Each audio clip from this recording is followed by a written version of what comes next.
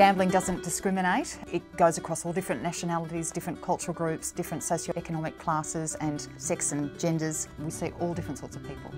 We see families um, directly with family therapy, working on the problem as a whole family rather than just with individuals.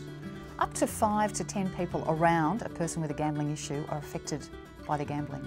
Sometimes the family can resolve it themselves and sometimes in trying to resolve it or trying to deal with it, things get stuck um, and even can become worse and that's when families need some professional outside help.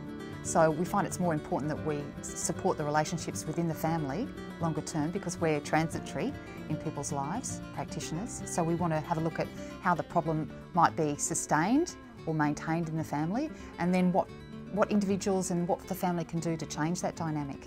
And often families are really exhausted and they're, they're trying their best to help, but sometimes what they're doing is actually not that helpful for themselves or for the person with the issue. So yeah, we want to really support change that's going to be able to be sustained. And so that's why it's important that it gets taken outside of the room and we work with those significant others as well.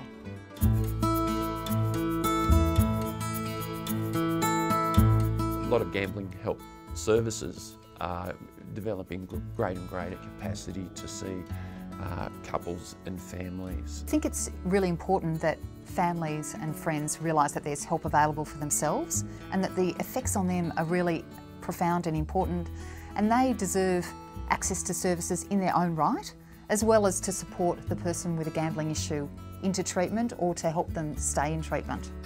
There is a lot of help available for families and friends and getting some information around the problem and what does help and what doesn't help.